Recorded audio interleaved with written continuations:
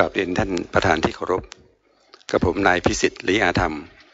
สมาชิกสภาผู้แทนราษฎร แบบบัญชีรายชื่อ สังกัดพรรคประชาธิปัตย์ผมเเห็นด้วยกับที่เพื่อนสมาชิกเมื่อสักครู่คุณเกียรติขอไปที่เอ่ยนามนะครับ ที่ได้กล่าวถึงเรื่องของการยื่นงบ แล้วก็การตรวจสอบ ซึ่งก็มีข้อบกพร่องเป็นอย่างมากนะครับ แล้วก็ผมก็มีความรู้สึกว่าเรื่องนี้คงต้อง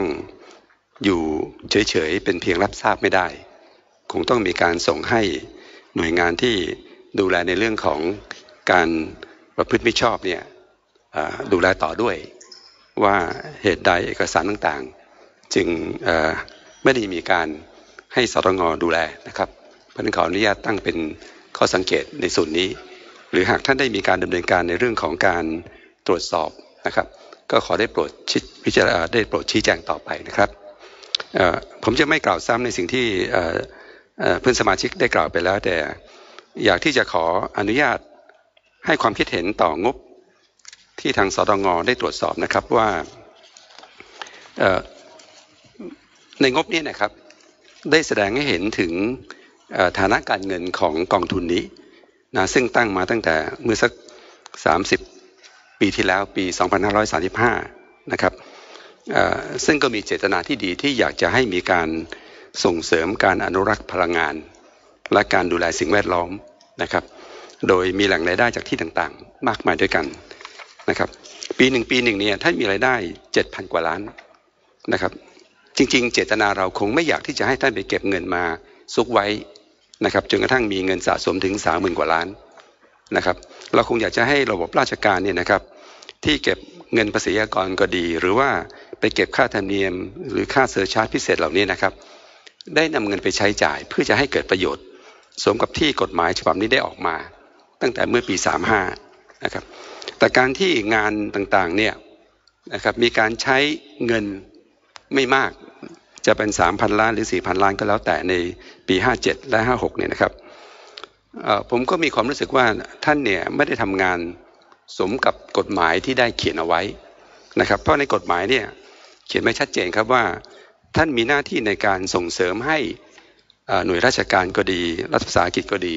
หรือเอกชนและสถาบันการศึกษาเนี่ยได้ทำงานด้านนี้ เกี่ยวกับการอนุรักษ์และการดูแลสิ่งแวดล้อม แล้วก็การส่งเสริมการใช้พลังงานอย่างมีประสิทธิภาพ นะซึ่งอันนี้ถือเป็นเรื่องสำคัญต่อเศรษฐกิจไทยนะครับประสิทธิภาพในการทำงานของเศรษฐกิจโดยรวมเนี่ยพลังงานเป็นตัวแปรตัวหนึ่งที่สำคัญนะครับเพราะฉะนั้นนกลไกของท่านเนี่ยเป็นตัวจักที่สำคัญนะครับ แต่การที่ออกมาในรูปแบบที่ว่ามีเงินมาปีละเจ็ดพันกว่าล้านแต่ใช้ไม่ถึงครึ่ง แล้วก็มีเงินเก็บไปเรื่อยๆเนี่ยนะครับ ก็เป็นสิ่งที่เราก็คิดว่าไม่สมประโยชน์นะครับ แน่นอนก็มีประเด็นที่ท่านเกียรติได้กล่าวถึงเมื่อสักครู่นี้นะครับว่าวิธีการใช้มันถูกต้องหรือไม่ อันนี้ก็เป็นอีกประเด็นหนึ่งที่ผมก็เป็นห่วงครับว่ากลไกของตรงนี้นะครับน่าจะได้มีการปรับปรุงดูแลอย่างไรนะครับโดยเฉพาะยิ่งเกี่ยวบุคคลที่เอาเงินไปแล้วก็ไม่ส่งหลักฐานคืนมาให้เนี่ยมีเจตนาที่มิดีมิร้ายต่อเงินแผ่นดินเหล่านี้หรือไม่นะครับ นั่นก็เป็นเรื่องหนึ่ง อีกประเด็นหนึ่งที่ผมดูงบท่านแล้วเนี่ยก็มีความไม่เข้าใจนะครับว่าอย่างในปี 57 เนี่ยท่านมีเงินรายได้ดอกเบี้ยถึง 800 กว่าล้านนะครับปี 56 เนี่ยรายได้ดอกเบี้ยเนี่ย 549 ล้าน ทั้งที่เงินฝากเนี่ยอยู่ประมาณสักหมื่นสองหมื่นล้าน แสดงว่าท่านเนี่ยบริหารเงินเก่งมากครับ ผลตอบแทนของดอกเบี้ยเนี่ยสูงกว่านักบริหารเงิน นะครับซึ่งทุกวันนี้อย่างดีก็ได้สักเปอร์เซ็นต์สองเปอร์เซ็นต์ก็ถือว่าเก่งแล้วนะครับแต่ตอนนั้นเนี่ยท่านบริหารอย่างไรครับที่ได้ดอกผลสูงขนาดนี้นะครับขอย้ำอีกทีนะครับ เราไม่ได้มีเจตนาที่จะให้ท่านเนี่ยเอาเงินไปเก็บแล้วก็ไปบริหาร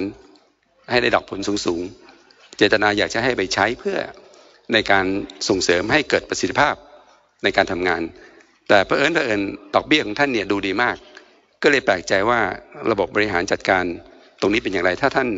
ได้ช่วยชี้แจงก็ก็จะเป็นประโยชน์ครับขอขอบคุณมากครับ